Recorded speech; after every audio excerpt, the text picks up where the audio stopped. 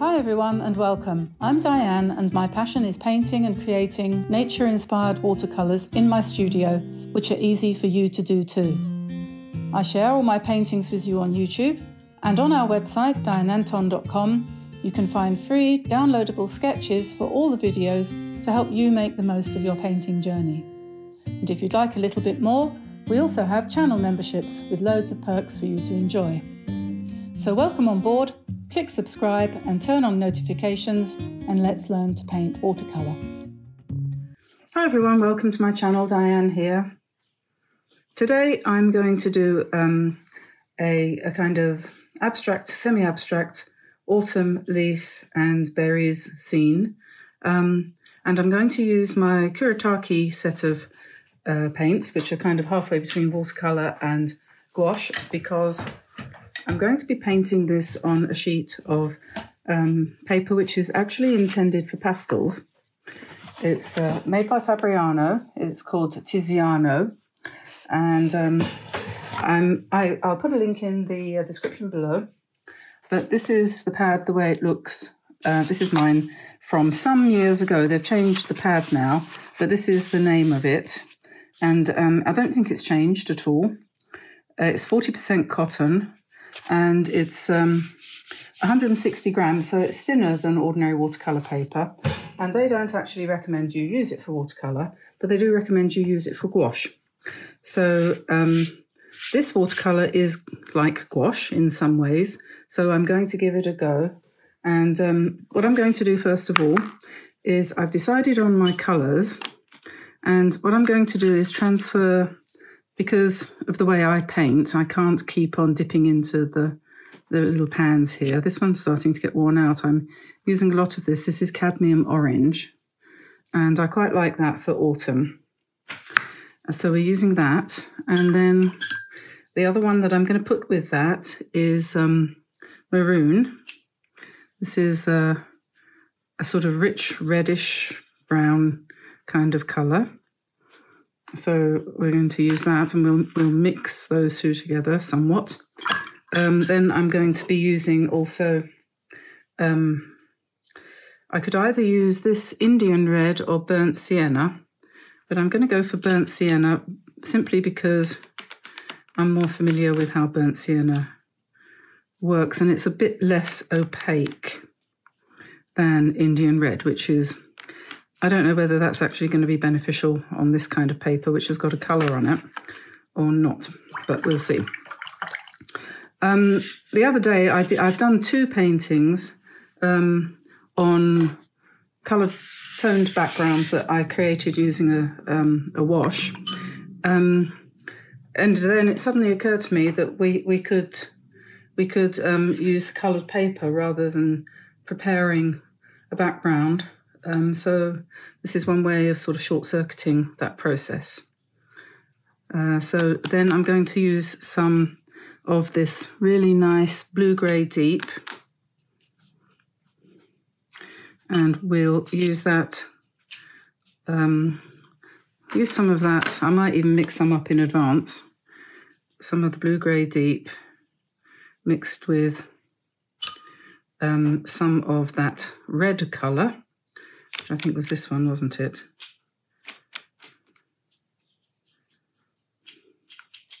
Which gives us a very um, grey purple colour. And those are the colours I'm going to use for this painting. So now I can move these out of the way for the minute. we will be using the Kuretake Golds for embellishment, plus um, a white Signo pen, possibly the gold and silver versions of that too. So I was doing that preparation work with a size 11 round brush, but I'm going to swap now to a smaller one. This is a 7 Drawwell brushes, links in the description below. Um, I did this one earlier. This isn't finished. I did this is my background. I'm going to be embellishing on top of that um, to try it out because obviously I'm not going to do something for you without trying it out first of all. So this is roughly where we're aiming for. So I'm going to put that to one side. I do this often, as you know. And that's my guide for going ahead and doing doing this painting now. So I need my little piece of um, sponge. This is a Spontex dish washing sponge, which I cut in half and I use for just dabbing the excess paint off of my brush. So I'm going to give this quarter of an hour because then I have to go and start getting dinner ready. Um, so we'll see how it goes. So I want to drop in a few leaves on a stem, which is going to come across like that. And we're just very loosely coming to the come into the paper, starting with the point at the top, the end of the leaf. And it doesn't matter what shape your leaves are, they can be any shape.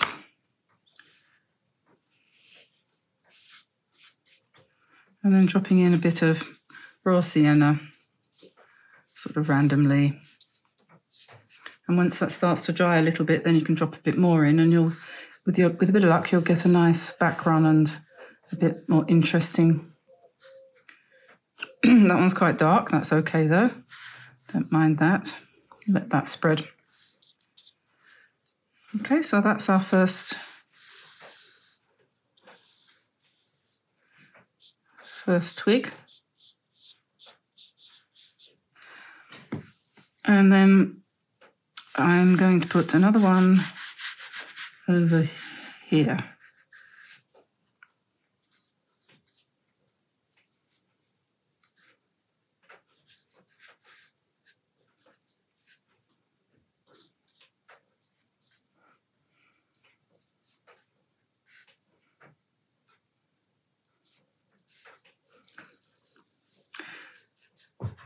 lovely colour and looks even better um, on this uh, golden coloured paper. Okay, so that's the first ones, and uh, we'll be putting a bit more of the yellow in afterwards. But the next thing I think is I'm going to pick up some um, blue, and uh, I might just make that a little bit stronger because I just want to do the uh, a twig in in strong contrast.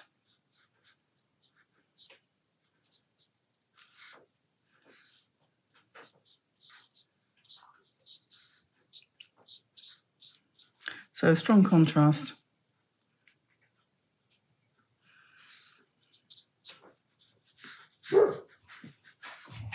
And then we'll just do some leaves, same kind of thing. It's nice uh, soft blue. I like this blue a lot.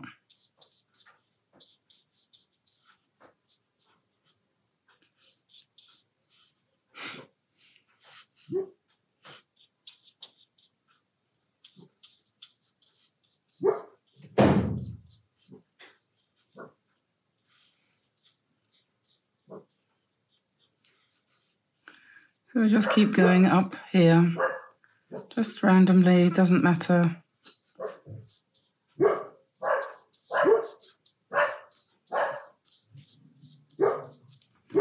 Doesn't matter where you put the leaves, doesn't matter what shape they are, because this is just a, a, a, pattern. And it's, it's very liberating if you think of it as just a pattern. Okay, so now I'm going to put one twig in down here.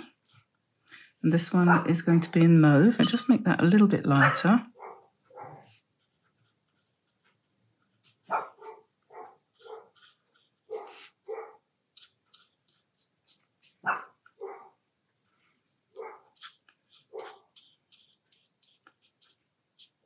It's absolutely no problem whatsoever with the paper. It's working perfectly fine, taking the, the paint perfectly fine, even though it doesn't claim to be suitable. And it really doesn't claim that. They say um, you can use it. I'm going to put a, a nice uh, thin, quite dark. Let's find some more of that. Mm-hmm.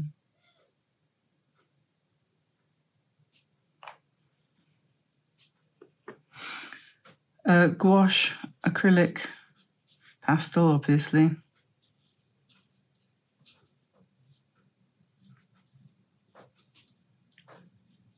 But clearly it works fine for watercolour too.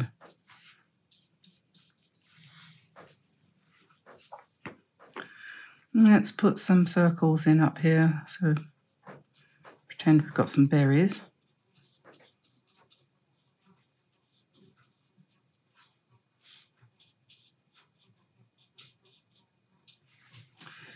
Um, maybe we put some down here too.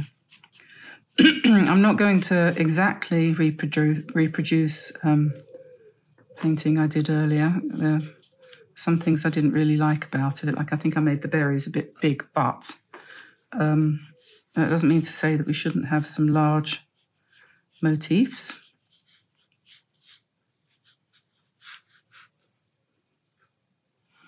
And quite dark too. We want some really quite dark leaves so that we can put a nice lot of uh, embellishment on top of them. We have a big one down here.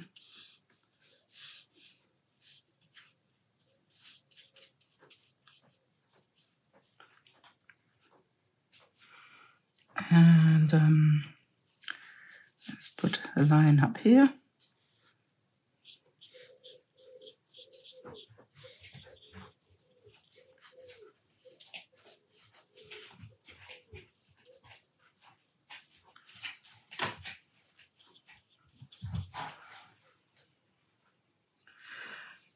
I'm going to go back to the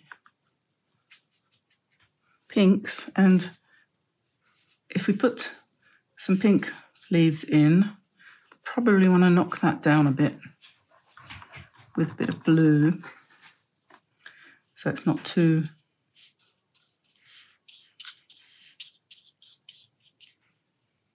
not too um, lipsticky. So now I'm just kind of filling in some spaces and we'll just let rip really, just kind of do whatever.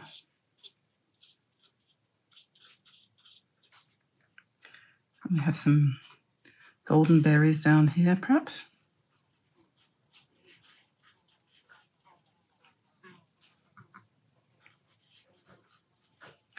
And maybe a bit more burnt sienna in these leaves.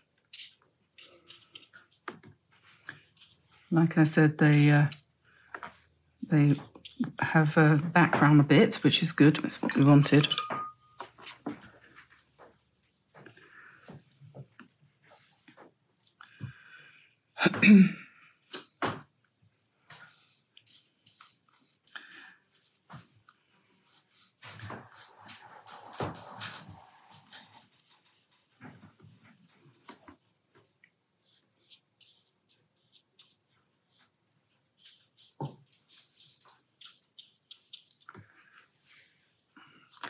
And then we've got a little bit of this red here, so we'll just mix that in with the brown to give us a kind of reddish tone because every painting ought to have some red in it somewhere really.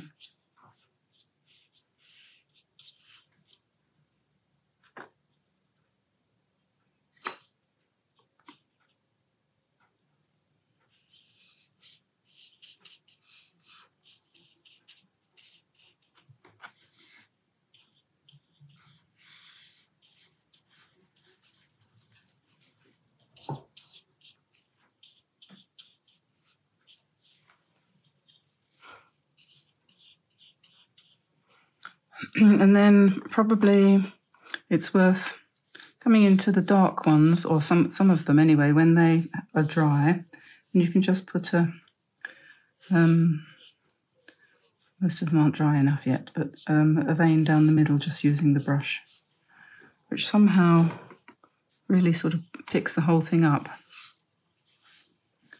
But that's nowhere near, we're nowhere near finished yet.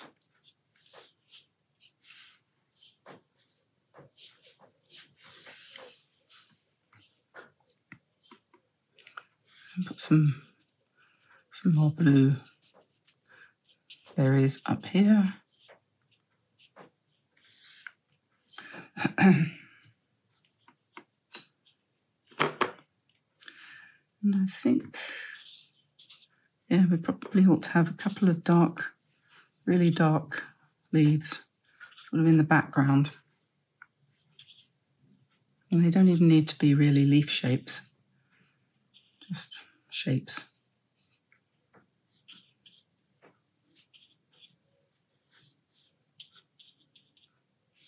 And they don't need to join onto anything, they just need to be there.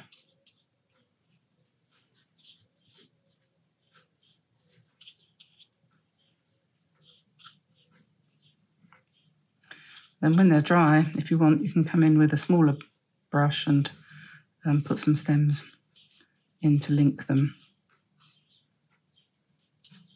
with some of the twiggy bits.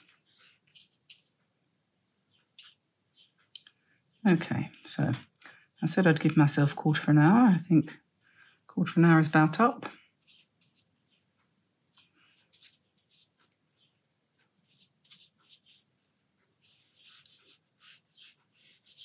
darken these lines a little bit, we can do more in the way of strengthening those shapes that go across.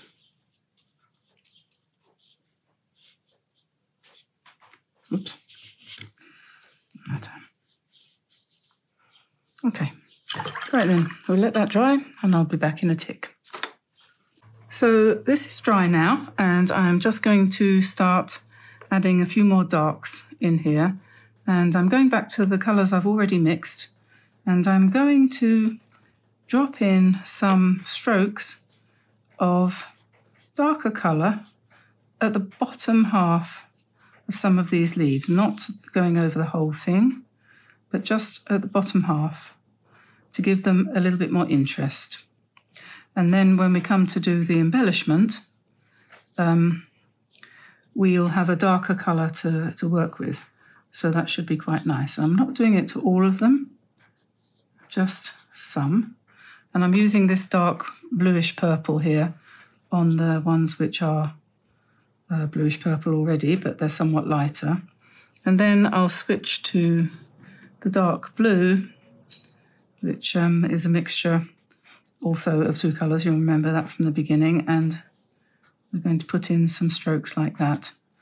They're just nice strokes. They're nice to do and uh, they add quite a lot of depth to the painting. You don't have to do that if you don't want to. If you feel you're happy with the leaves the way they are, that's also fine.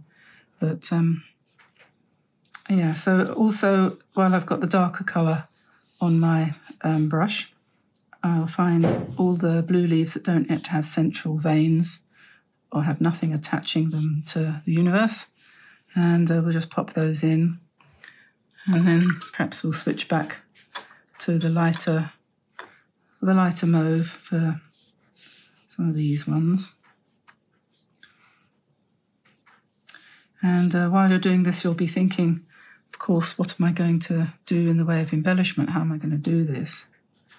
So let's not forget these ones. This is uh, I think I want to make that darker so let me see. I'm going to mix it with some some of that grey, make it into a really dark chocolate brown. So that blue mixed with that colour there is going to give us the chocolate brown colour like that.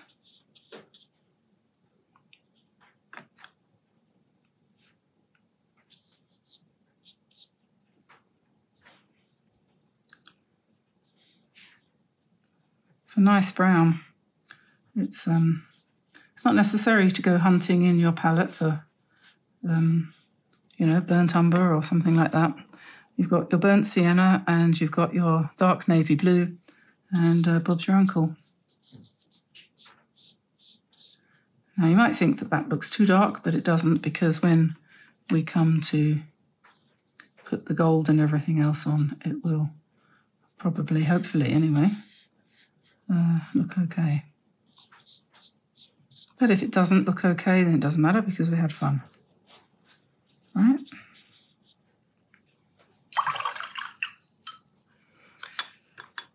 Okay, so that's that. Um, now, I think yesterday I woke up my gold and silver starry colours.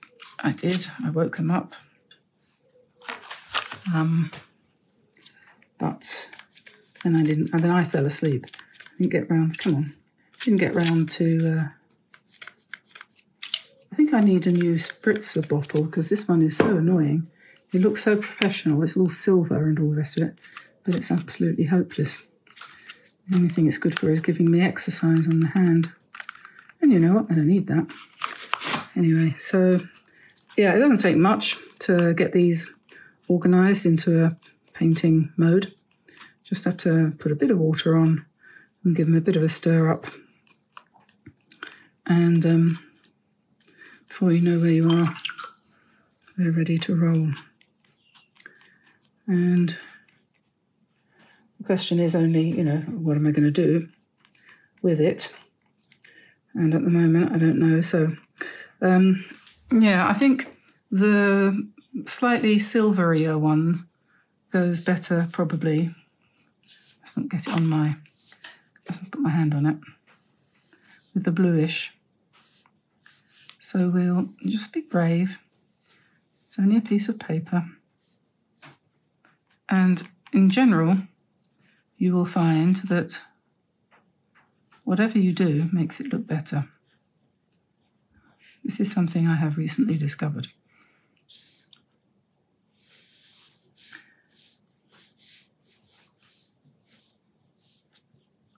So we'll just paint in the centre vein and some uh, some side veins. And this one is asking me for blobs because it's already got its veins in. So it says, blob me, please.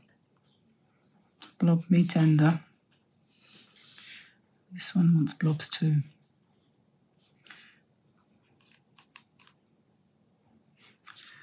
And these ones are going to be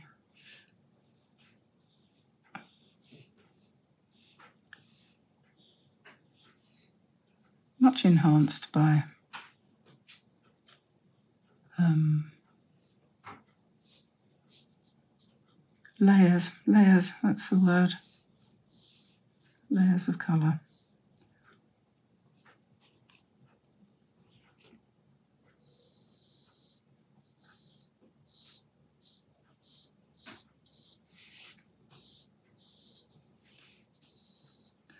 If you use it nice and thick, not only will you make Kuretake happy because you'll need a new set before very long, but also it will be completely opaque and will go over even the darkest of your paints.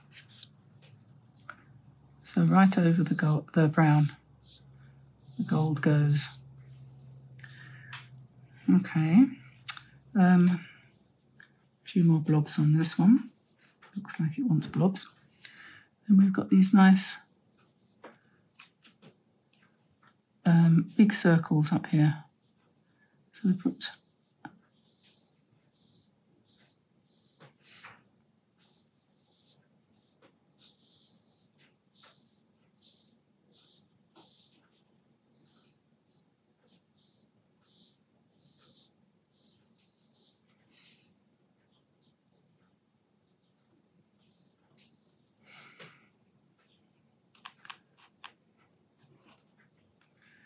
Um, okay, we've got more over here. We need some gold on these ones.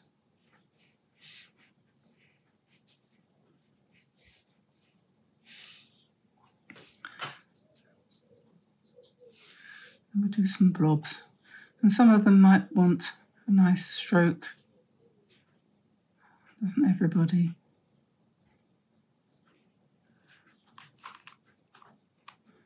So we're just maybe sort of make make it half metallic.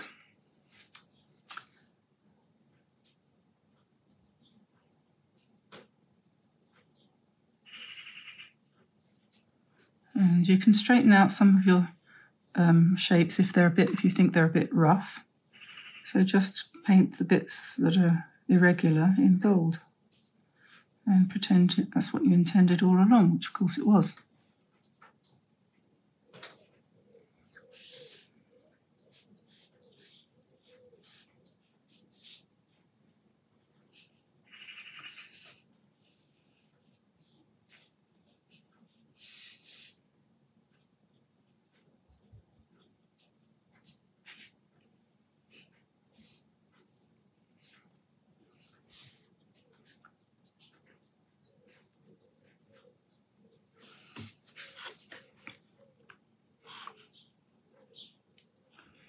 In a minute, I'm going to move from the brush to a pen.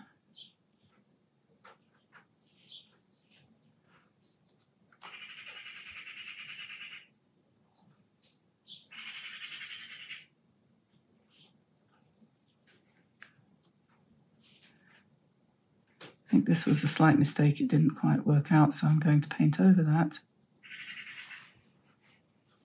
the wonderful thing about using gouache is that you can correct what you did wrong or that you didn't like after you'd finished, which happens sometimes.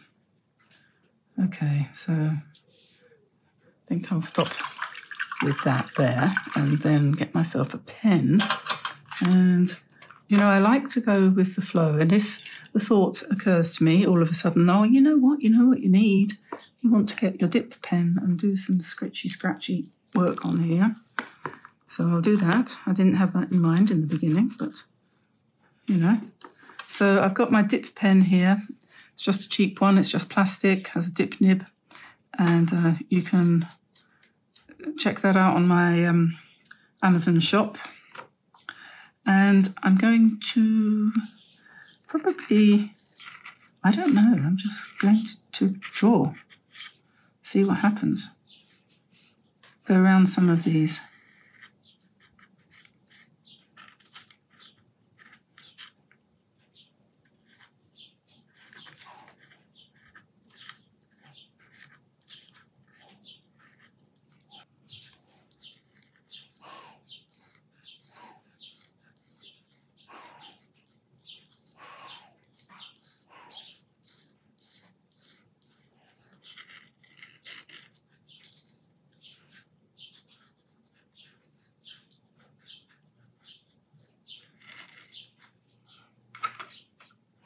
There's something quite satisfying about using a dip pen because it will give you, if you turn it to the side slightly, it will give you a much thicker um, line.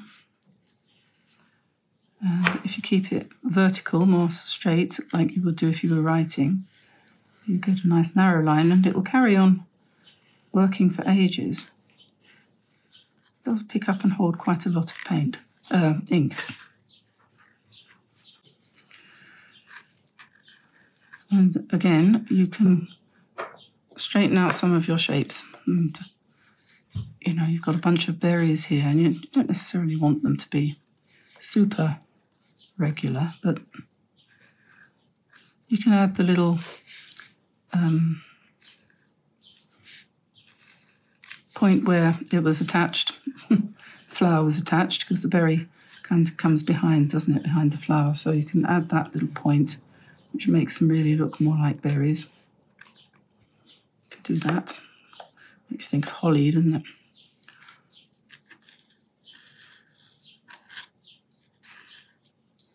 And then you can work into the, the gold a bit too.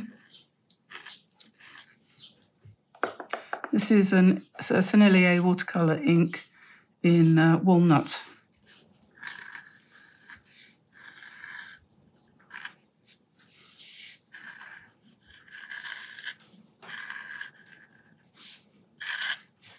You definitely don't want to go over all the lines. Um, you don't want to redraw all the leaves. Maybe just the ones you want to stand out in the front.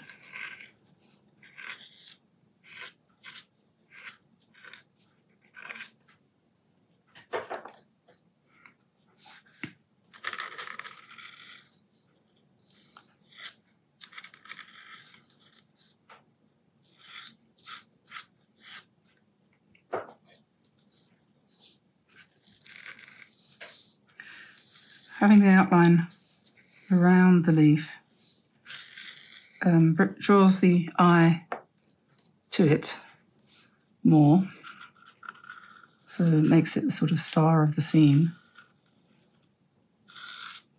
And if you've got any that you don't like the colour of or you don't like the shape of, then you wouldn't go round those ones.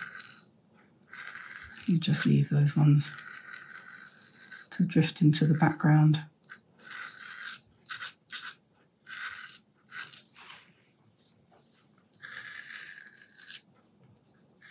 I think it's a good idea to use the pen to give them the pointed shape that most leaves have. They, if they're not round, then most of them have a kind of pointy end, don't they?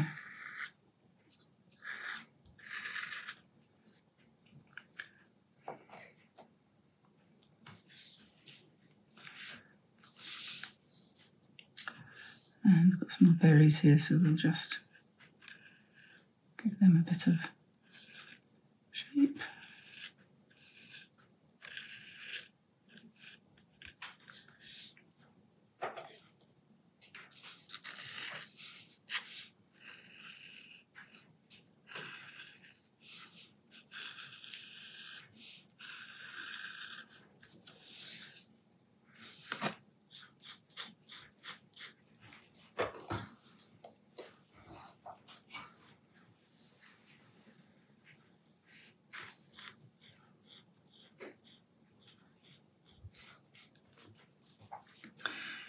And you know, you can carry on doing this as much as you want or as little, and sort of stop when you get to the point where you think, oh, I think I've done enough.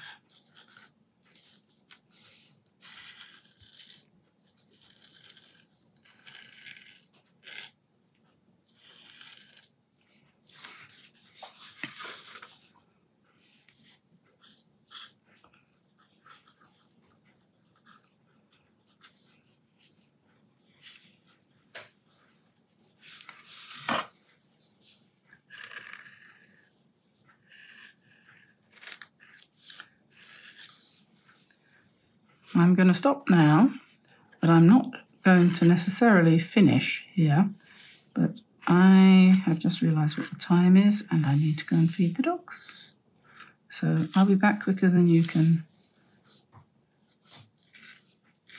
Quicker than quicker than a quicker than a what? Shake of a lamb's tail.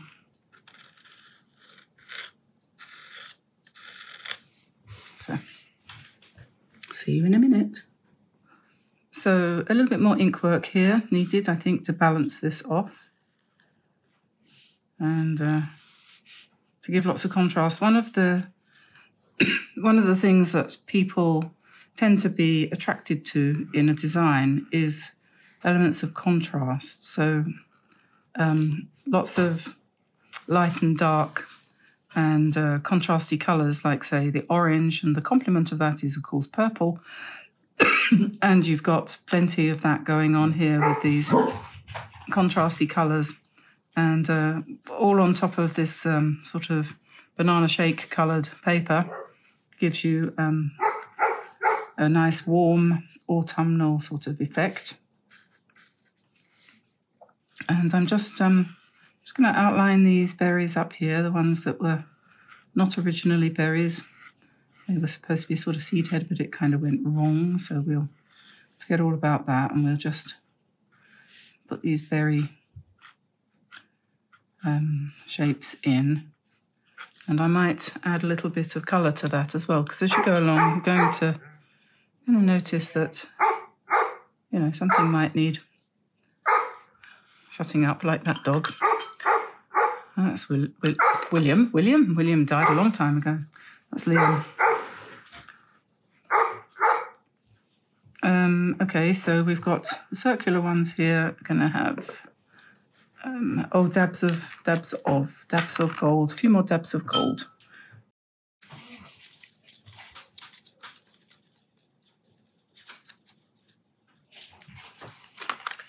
Dabs of gold on this circular one. the more um, embellishments that you put on, the more gold and the more dots and the more um, interesting shapes and so on that you add, the more it will look like a tapestry or an embellishment, embellished paper painting, so to speak. So um, I'm just putting in a bit more gold here, and then I'll come in. I think now is getting to be the time to come in with the pen, the gold pen, and perhaps the white pen.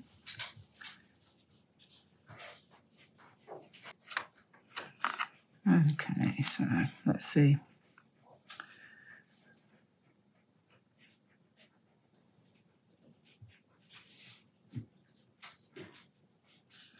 You can put some nice gold circles, dots, like beads. And the darker the paint where you put them, of course, the better they're going to stand up, out, up.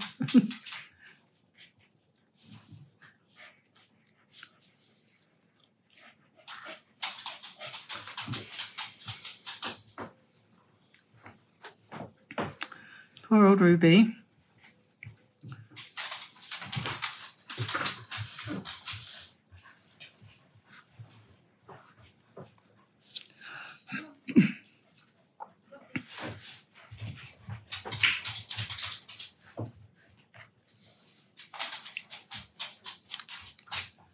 And I've got a few little sort of squinky things up there. So we might do a few more sort of squinky things.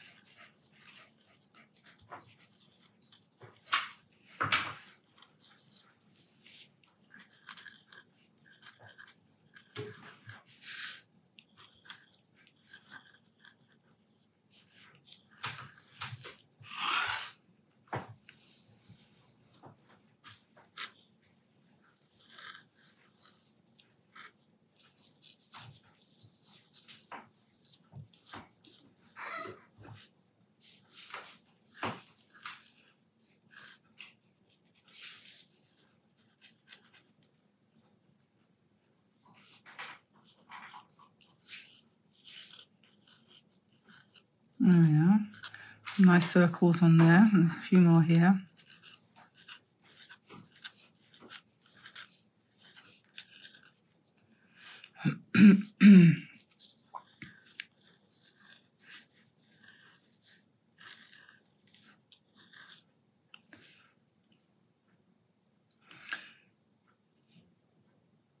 Yeah, and I think the thing with painting like this is to make sure that you leave plenty of background. And although you're going to put lots of embellishments, you don't want to cover up all the lights and everything. So you're going to keep keep your um, design on a nice light background.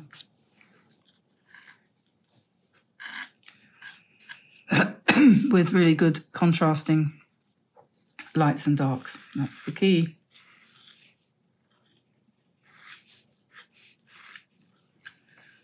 Okay. I think that'll do. I think that's good enough. I think that'll have to, that'll be enough for one day. And uh, you could take it further. You could keep going. You could come back into it and do some spatter. Um, but I think I've had my allotted 35 minutes for this video. So I'm going to let you go. Take this idea, make it yours, share it on Facebook, and uh, yeah, basically have fun. And I'll see you again soon, everybody. Bye bye for now. Bye bye.